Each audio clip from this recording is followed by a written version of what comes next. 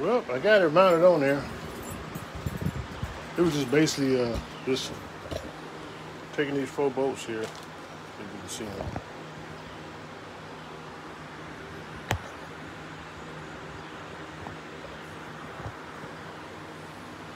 Yeah, just four bolts on each corner. This one, this one here. Put an Allen wrench and tighten them up. And it's on there. Press this here. Press it in, and that stops the blade from going up and down. Figure that out. Pull it out. The blade comes up. So you put in the wood, and it slides. Well, you know, your typical miter saw the, lesser brands, they just, which is neat, especially in the fact that you can get you good angles and stuff like a 45 degree angle.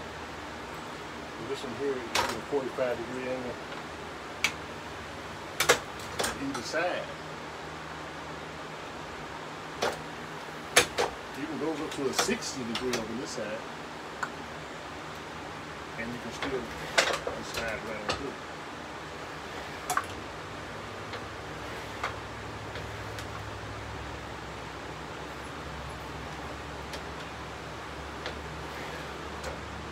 Forty-five, no problem. So I guess you get sixty, you to the fence.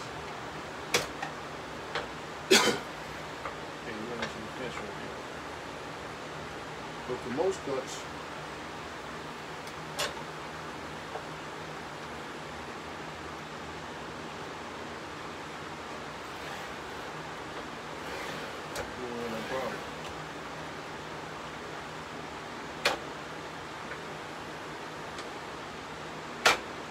stop certain area.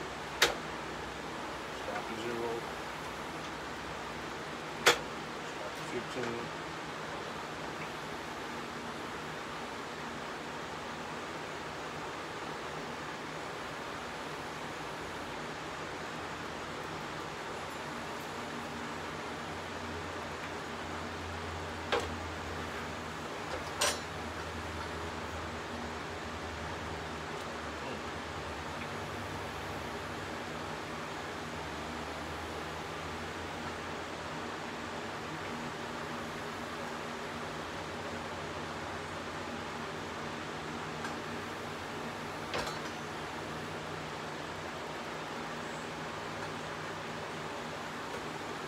Rodrigo.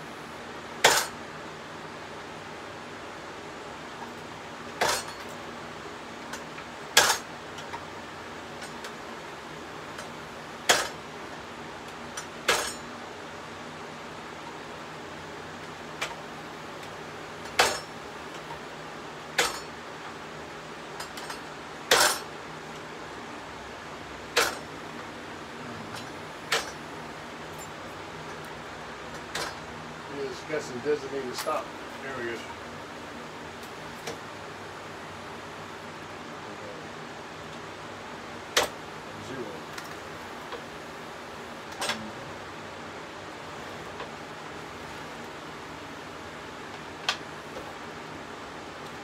You got your 12 inch blade, which you you're not even cut bigger pieces. Look at this fence. That fence is big.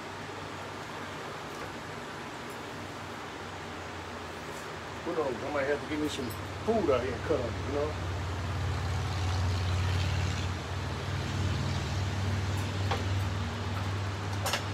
Yeah, I could probably slice some ham on there. Ham? Shut up. Yeah. I just messing with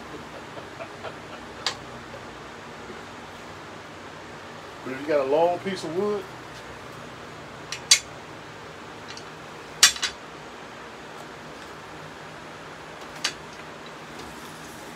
you extend this out. See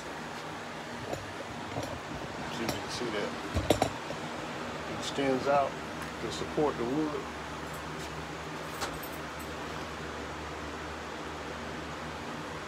I guess gonna have to, I would have to adjust this so that the wood will get in front of the thing so when you cut, you cut the wood. but it'll support longer than eight feet on both sides. This side, this side, just release that. I mean, I used to cut, use my other saw, how to make up something to hold it up, so when you cut this piece the other part is falling off, or, you know, this one didn't a good job, though. You know something? I might have to turn this around. Anyway, I hope that hope you enjoyed the video. I know I didn't go into a bunch a lot of detail like I wanted to, but uh, once I get it up and running, I'll make another video to show you how it cuts and all that. And so this is uh, Lord God, I'm a Rob, signing out. Peace.